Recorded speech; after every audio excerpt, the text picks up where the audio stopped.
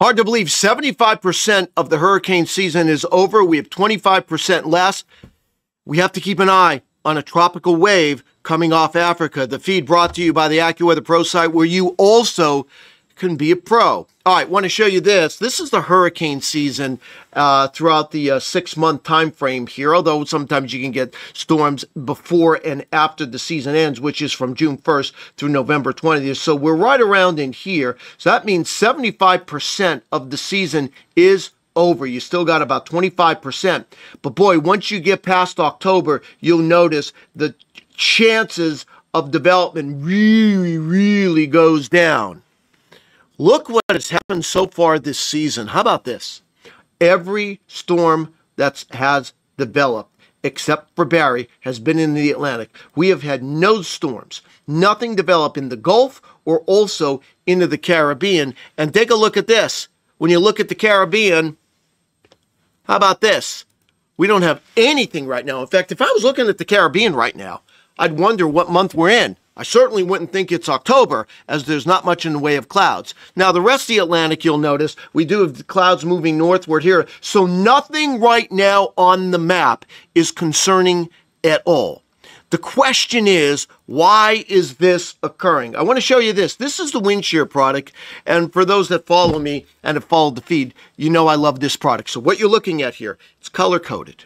Where you have the reds and the oranges you have wind shear. You start seeing the blues. The lighter the colors, the less wind shear. Now, just to give you your bearings here, this is uh, this is Africa. This is the west coast of Africa here. This is the eastern uh, coast of the United States, and here is Florida, and here is the Gulf. Here is the Caribbean.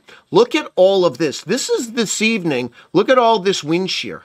I mean, pretty much anything coming off Africa that goes in the Atlantic, it's game, set, match. It will not reach the United States. It just won't. Now, this is this evening. How about a week from now? Does it change much? I'm going to give you a little hint. I want you to watch this right in here. The Caribbean, where you do have some wind shear right now. Here's the Caribbean. You do have some wind shear right now. Watch how it changes a week from now. Boom. You see this? A lot of lighter colors here, a lot of blues, a lot of purples. There's not a whole lot. Meanwhile, you continue to have the wind shear across the Atlantic. So, based on that knowledge, I made this graphic uh, earlier today to show you these waves that come off Africa, what would happen to them moving forward here.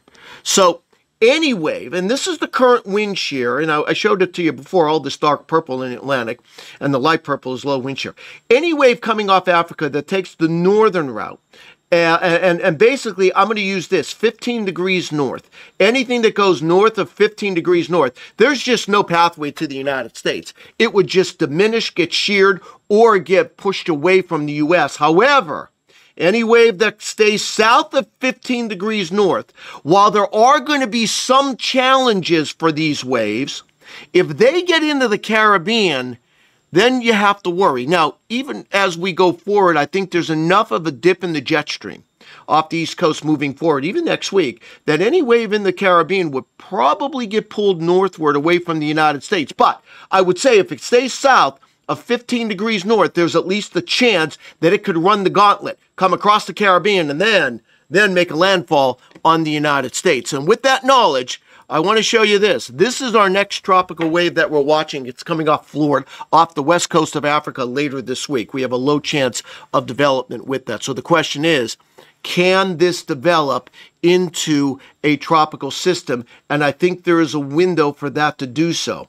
Now, what I want to show you now is I was talking about the Pro site, the AccuWeather Pro site, where you can look at the computer models. I want to show you how two models, I'm going to show you the two main ones, the European and the American model, what it does for the possibility of development with this. And it is interesting and, and, and a little concerning to me both. So I, I want to show you what we're looking at here. This is Saturday. And um, and uh, this is the European model. Let's go to Saturday, uh, late Saturday night. This is the tropical wave. You see this little green doesn't look like much.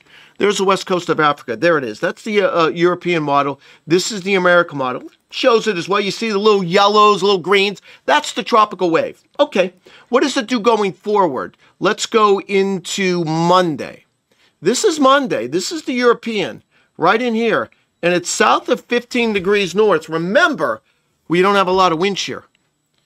So that's a little concerning to me because I'm just looking at the pattern. If it escapes this trough in the Atlantic, then it gets into the Caribbean. Now, I want to show you the American model. It's very interesting. Let's let's follow it. I'm going to take you to next Wednesday, the 8th. There's the tropical wave. Look how south it is. Here's 15 degrees north, pretty far south. That would put it in the low wind shear if that's right. Now, and it was also, it is far enough south to escape this dip in the jet stream that it wouldn't get pulled northward. Now, watch what the American model does. Now, I want to show this to you. I don't think it's right. I don't. But watch what it does. There we go. This is Friday. It has a storm here in the eastern Caribbean, and watch what it does with it. It takes it east. There it is near Hispaniola. That's uh, Sunday. That's 10 days from now, more than 10 days from now. It's not this Sunday, but the next Sunday. And you watch what it does with it. It continues to move it, has a landfall in South Florida on the 14th, and then into the Gulf as we get into the 17th, almost two weeks from now. Is it right? I don't think so. But what it does tell me is that is the one to watch. And remember, we've talked about this. The area to keep an eye on moving forward is this zone, and that's the feed.